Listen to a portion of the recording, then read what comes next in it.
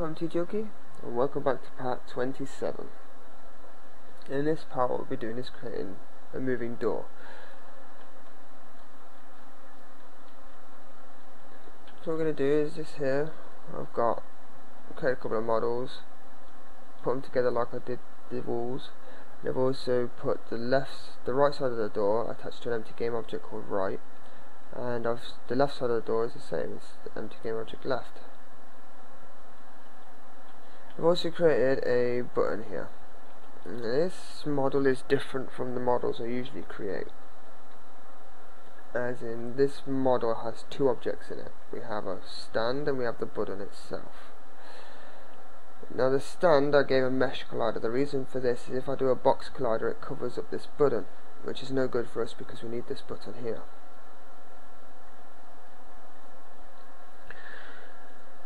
And this button here has a normal box collider on it that way you can actually select it. Now what I want to happen is when I push this button it opens up the door. If I push it again it closes it. Now what we can do oh yeah to save time I've also put my player start up here as well so I can do all this quick. So what we need to do is we need to start creating a few things. Right first thing we need to do is if you go to edit project settings, input. Now I already have created one, so I'm going to delete this now. Now, this here is when you launch your standalone, you'll be given like a controls option. Um, actually, I'll uh, build and run now, just to show uh, show what I mean.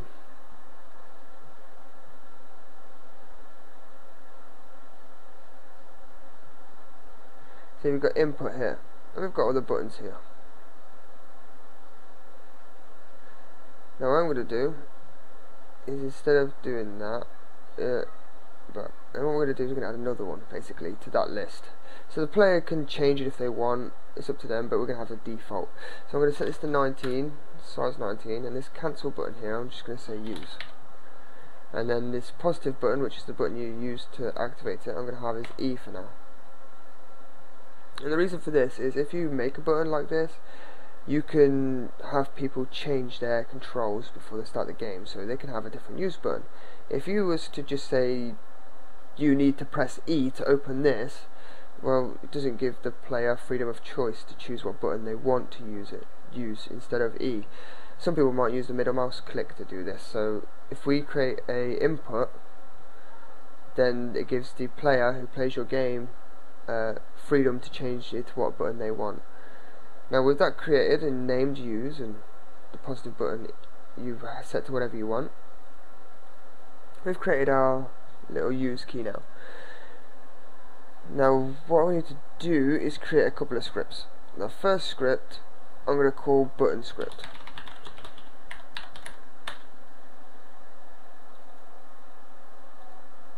And in this button script I'm just going to create a few things.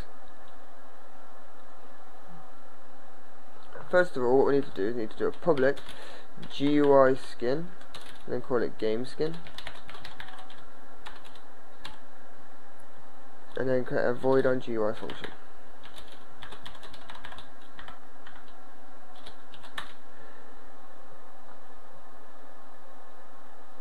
Now what we need to do is also I believe we're going to need another couple of functions. So I'm going to say avoid on mouse enter.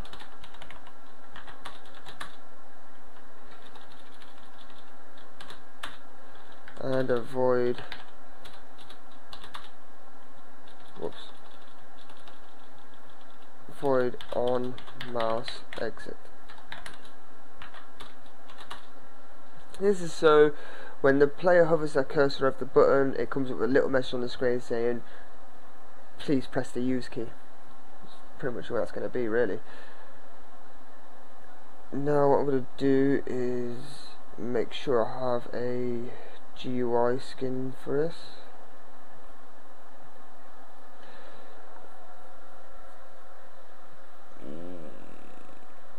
Yeah, use message window. I've basically just copied window background took deleted the font bit the font size, aligned it to middle center. That's all I've done. I've kept the colours and everything. So now I've got that, use message box. We're to create, a, we're not going to create a window for this because I actually don't see the point in creating a window for this. So what we're going to do, on the other hand, is this description that should be too big. So what we're going to do is create our private private bool underscore is hover. And we're going to say false for now. So basically, it's just saying, are we hovering over it? Now in the mouse enter underscore is hover equals true and then on exit underscore is hover equals false. Now with that quite simply done, what we need to do is in our GUI skin, what we need to do is basically say GUI dot skin equals game skin. So our skin is now initialized. And then we need to create another function, so I'm going to call it public void display message.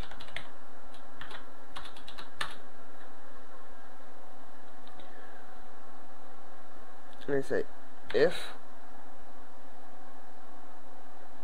underscore is hover equals equals true.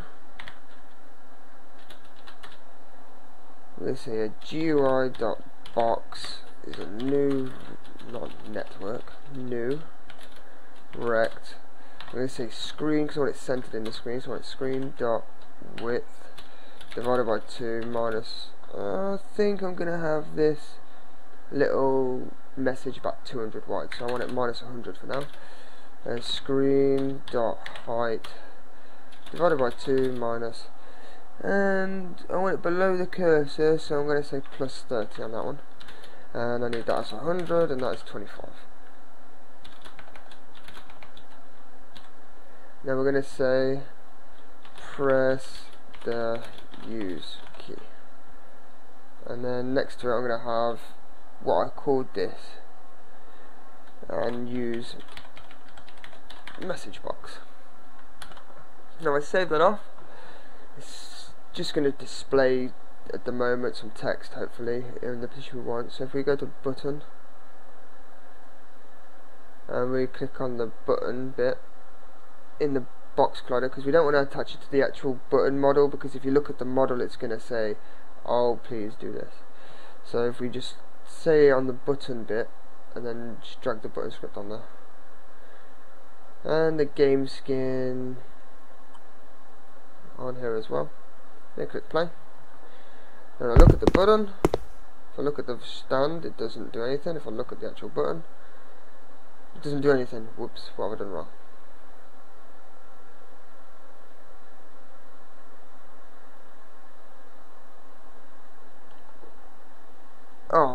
Done wrong. It helps if I actually put this in the GUI.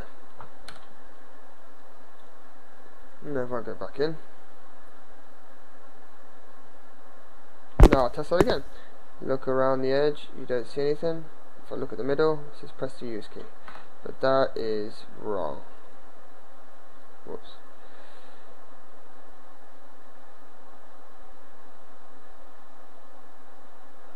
Oh. That's minus plus 30. What do I do that for? Let's see if I fixed it.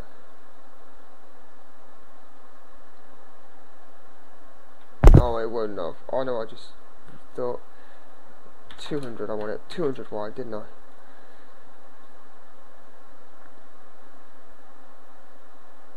Let's see if that displays correctly. Yes, it does. Press the use key.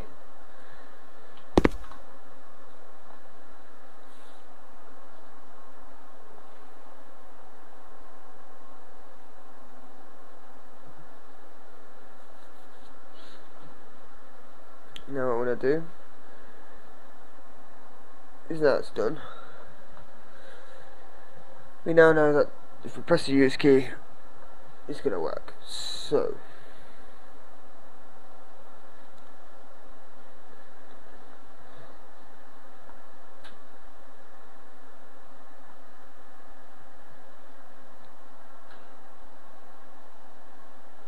We need to set something up. So in here what we're going to do is if underscore is hover equals equals true. So if the person is looking at the button and the input dot get button down is use because we've set our button up to say use. I'm gonna broadcast this message. Broadcast a message. So messenger, oh, broadcast, and open door.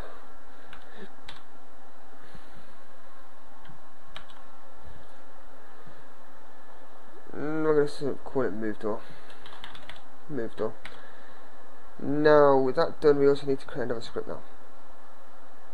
Now, if we go back into Unity, in our scripts folder, create another script, and call it door script.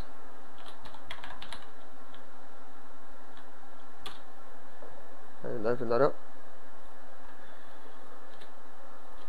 Now in here, I'm just going to do a couple of bools quickly. So, uh, public bool underscore is no, left door, not underscore, equals false for now, public bool right door.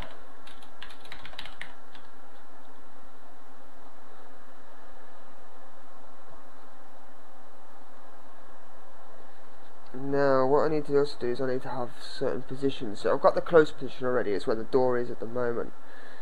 But I need to create a couple of vector 3s. So I'm going to say private vector 3 I'm going to say open position left equals new vector 3 and I think we need three variables so I'm going to say open position I believe because of the scale of the sort of stuff 1.5f is actually considering my scaling I've got on the level, if you copy my models it's going to be exactly, it should be the same scaling but you can play around with these if you want. And I don't want it to move on the 1, I don't want it to move on the Z. Now, if I copy this and put this here, and I'm going to call that right, I'm going to put a minus in here because I want it to go the opposite way. So one's going to move right, left, one's going to move right. Now if I copy both of these, paste them there, and we say close.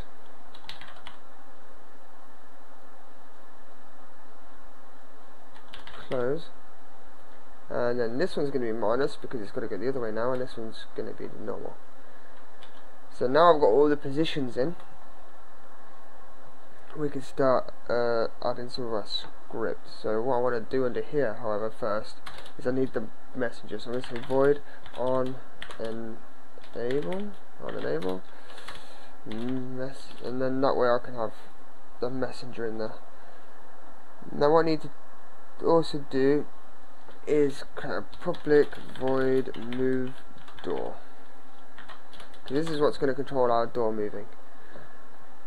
So now we've got the move door function and there we can actually create the messenger. So messenger dot add listener.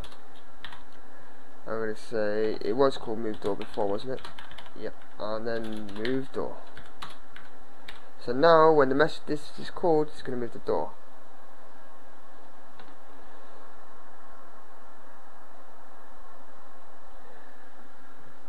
Uh, under here as well, I want to do a public bool Actually, I can do this private. Underscore door open equals false. Because to begin with, the door isn't open, so it's going to be false. So I say if score door open equals false, then we can execute the code that opens the door. So game object dot transform dot position. And then I'm going to say plus equals underscore open position left.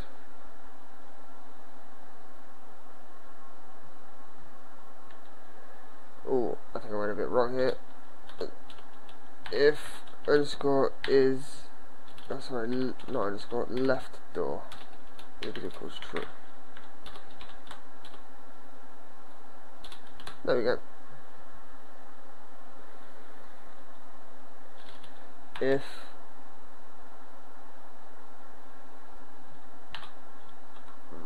right door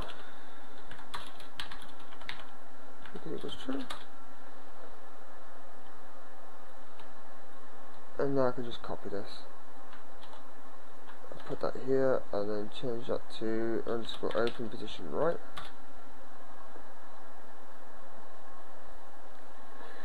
and then under here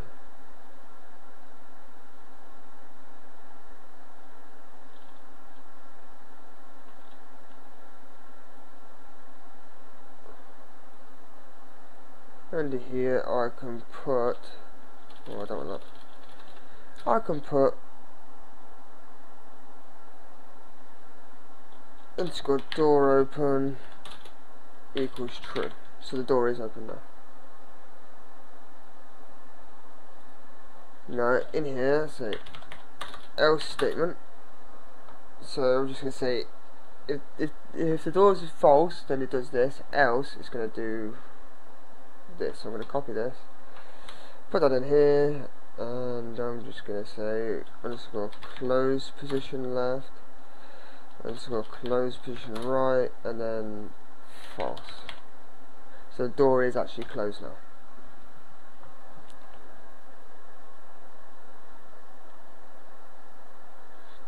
Now with that done, and I've not made a mistake anywhere, if we go back to Unity, check for errors, we're going to get the normal errors we usually get. Now if we go door left, door right, are game objects that we actually have, not the actual door models, but the ga empty game object we attached them to, if we put a door script in there, and this is the left door, and then the right door, door script as well, and then that's the right door.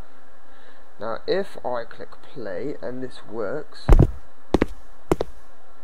press use, if I press use key now it does nothing, you can hear it. If I go over here and press the use key, we've got a door open. If I press use key again, door closed. And you can keep typing away. There you go, yeah, um, basically if, if you've got a different size level, and different size doors you can edit these variables here to state how far or how short the door opens if you really want as well you can make these public so then you can edit them right here in the inspector so you don't have to keep going into the code to tweak them. You can tweak every door individually. Now we have slight problem.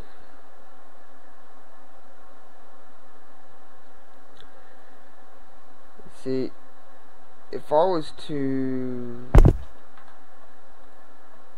say grab these two game objects right here I to duplicate them and then move them. Actually I'll put them behind these. So we've got two lots of doors. Now if I click play say I've got two lots of doors on the level and two separate buttons and all that if I click OK it's open both doors. We have no way of distinguishing which door is which.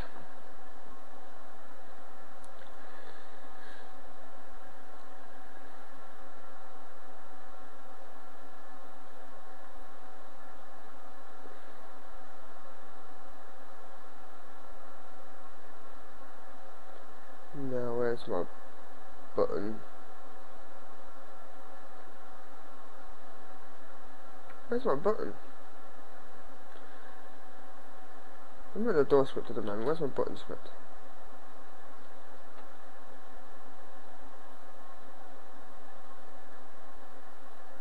Here it is. You got if it's found the button, push the button, it opens the door.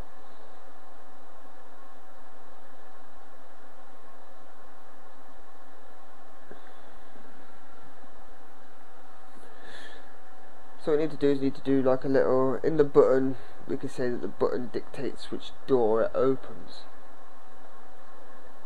Now,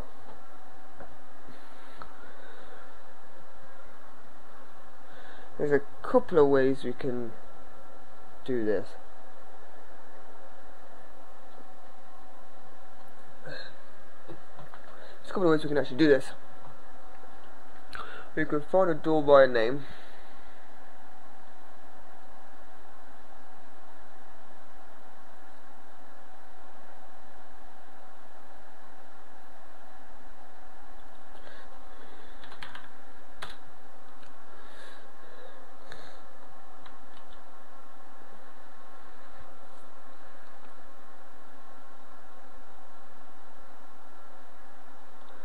If I click door script here, I should be able to access everything in the button here.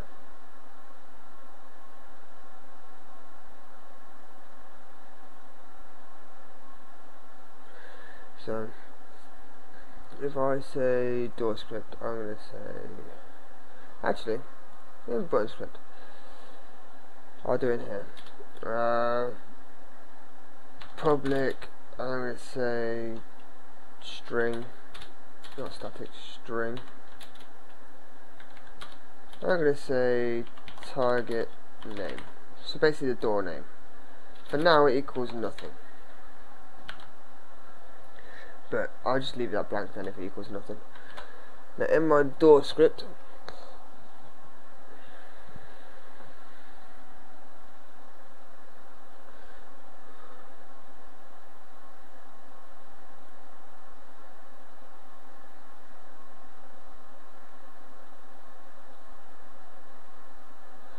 Say private our public public public string name. Door name. Set that uh, do, do, do, so I want to do and and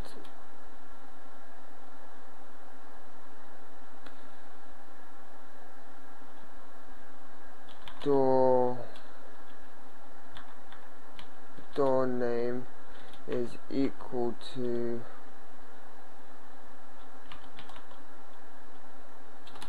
what did I call it? Target name, didn't I? Yeah.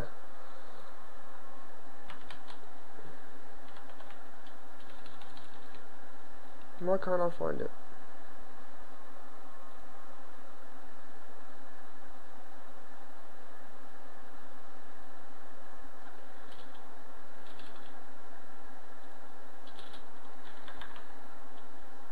doing it.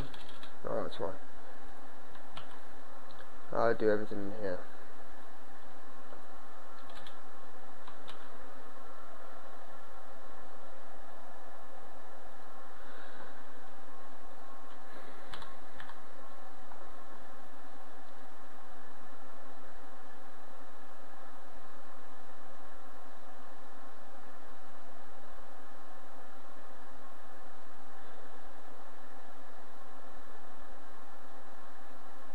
use the key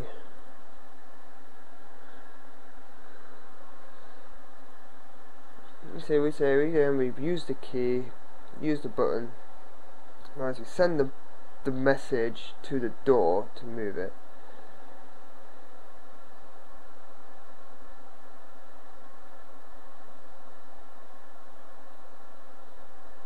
We could probably set it so it has to pass through the door name before it opens.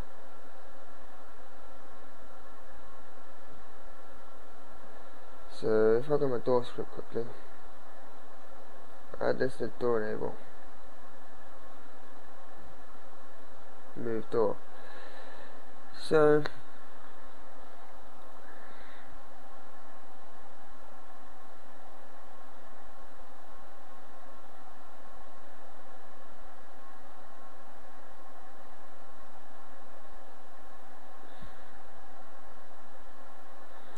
say and and door name is equal to target name move door. You see, I think I still have the problem, but we shall see. I think I might have a problem actually when I load up the engine, to be honest. So I'm gonna call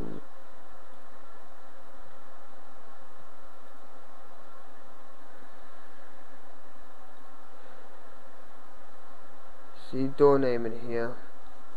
I'm gonna call that. We call it um, main door. So I'm gonna copy this. Door left, main door, and then in the button here, door name main door, title name main door. So if this doesn't work, I'm gonna have to do another one. So I'm using it opens and it closes. So that does pass that correctly. So what happens if I get these doors here, duplicate them, move them back a couple of times. So it doesn't look a bit weird. Move them back a couple of times, and this door here, I'm going to say side door. So I'm going to copy this. So that was yeah, they're now called side door. So if they're called side door and this is called main door, will this work? Well,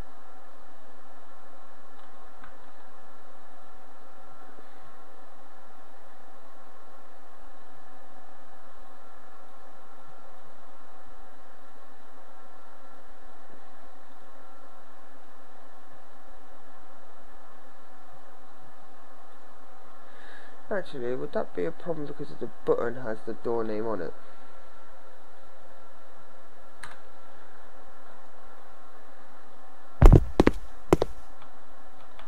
Yeah.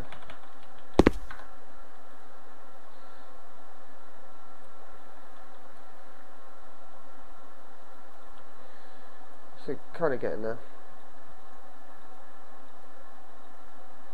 Now, I'm going to quickly try and figure this out and I'll be back. I actually fixed my error. It was quite simple. I fixed it within 5 minutes of pausing the video. See, only one door opens now. The way I did this is I completely removed the door script off the door left and the door right and I'm having the button handle everything. So if I go to the button script, I've put in the button script, the door open bool that we have previously. I've also created two public game objects, one for left door, one for right door. We don't need the target name anymore. And then what I've done is I've also copied from the door script over, I've copied the four vector 3s that we created. Now with these created, all you have to do is you can delete the on enable. We don't need the messenger anymore. And in the update function where it says is hover equals equals true and mouse and input dot get mouse get button down use. What we do is we put the if door open equals equals false and then here we have left door dot tran do we choose left door dot transform dot position plus equals open position left. So almost exactly how we did it before However, we just add in the game object for left door. We did the same for right door as well. And underneath we say door open equals true. And then on the else statement, we have it the opposite way around. We have it close, close, and door open equals false. And I'll leave this here for a few seconds. There we go. Now, when you save that off, if you go into Unity, what you do is you select the button. The button then, I'll delete the game objects out of here. The button then will have two empty game object slots, left door and right door. If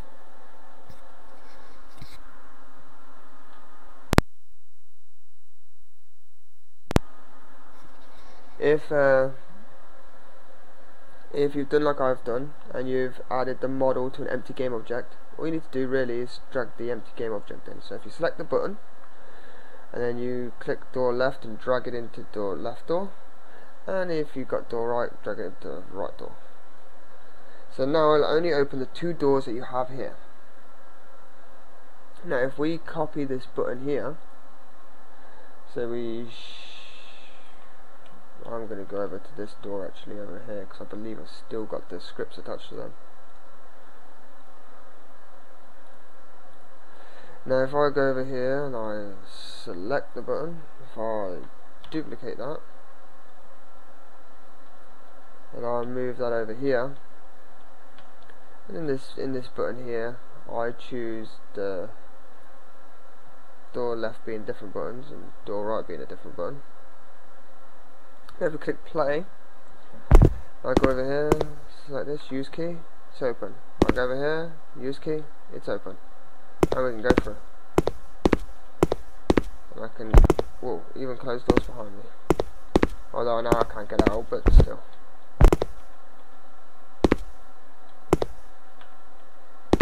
And that is how you create doors with buttons. So you can have as many doors and as many buttons in the levels as you want now and all you have to do is add this game object the left and the right door to the left and the right door and it'll open those respectively using one script which also means you can delete this uh, door script you don't need any more See, even I make mistakes. I like to kind of leave them in because that way it shows that. I mean, you could you could be like I have. I've been programming now for seven or eight years, and I forget as much as I learn. It's it's weird. It's I mean I have many many projects that I've created over the years, and if I was to try and think of how did I do that, well, I can't remember exactly how I did it. I could remake it, maybe make it better, but I can't remember exactly how I did it, so I can go back to my old projects, which I've got many of, and do that that way. But it's one of those things. It's everybody makes mistakes. I keep mine in because, I mean, if you have a similar problem to what I just had when you're doing this, like there's a little bug that happens, you can see how I solve it. Um, this was a complete little. This was a. This was a complete uh, change of edit, uh, editing. So we're on one script now, but it's still, still kind of the same principle. Alright. I'm a Tea Junkie, thank you for watching, and I'll see you next time. bye, Bye.